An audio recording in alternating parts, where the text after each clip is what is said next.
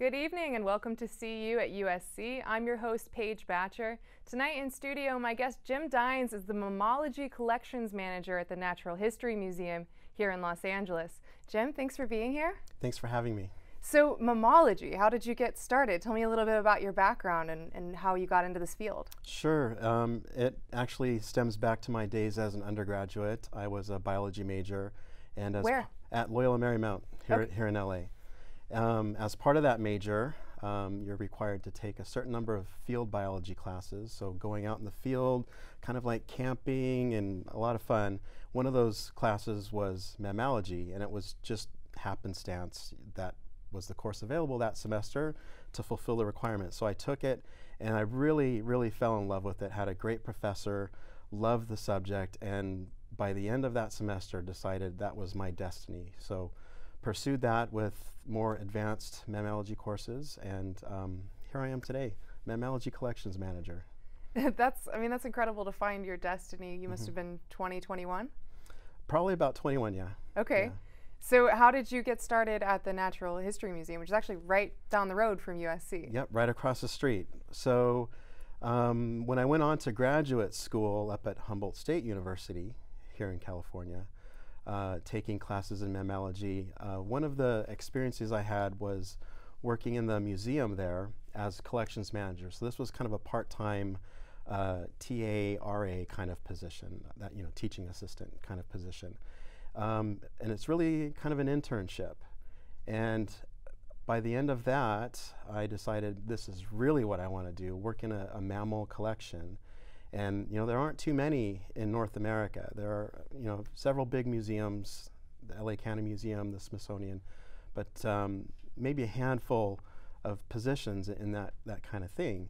When one position came up at the LA County Museum, I threw my hat in the ring, and next thing you know, I was there. So, So, it, it worked out. what exactly do you do as a mammalogy collections manager? You're collecting mammals for the museum. Well, I mean, that's part of it, but the collections manager is really managing the collection.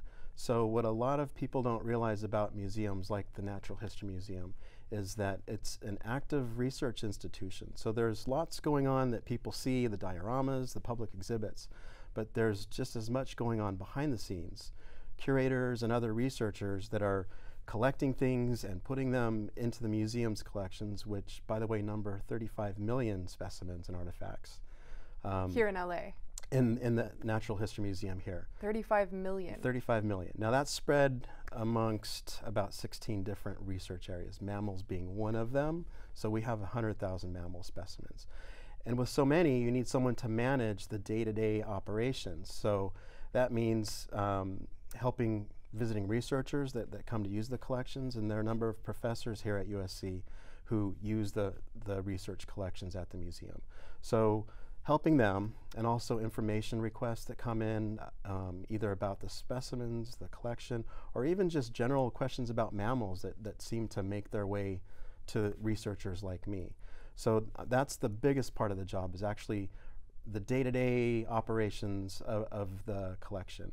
Now there is a little bit of going out in the field and collecting new things and, and adding those to the collection, but that's really just a small part of it. Where have those trips taken you? Well, lots of places, mostly local, but um, one memorable trip was to Vietnam in 2001. Um, this was what we call a multidisciplinary expedition.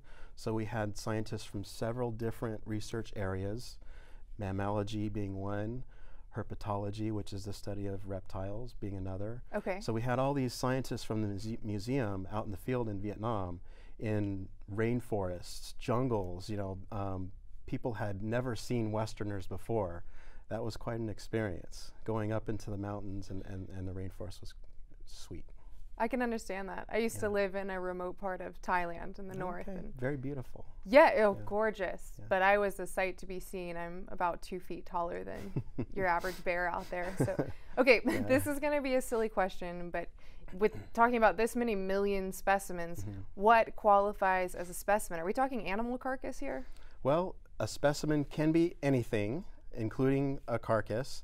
For mammals, we have several different kinds of specimens. It might be a skull or a skeleton or a skin or something of that nature. But our collections at the museum include things that are history related. So, you know, it could be a car or a plane or a document, or from anthropology, it might be a, a piece of pottery from several thousand years ago, or from our paleontology collections, you know, fossils of dinosaurs, for example. So, all of these things would qualify under the name specimen.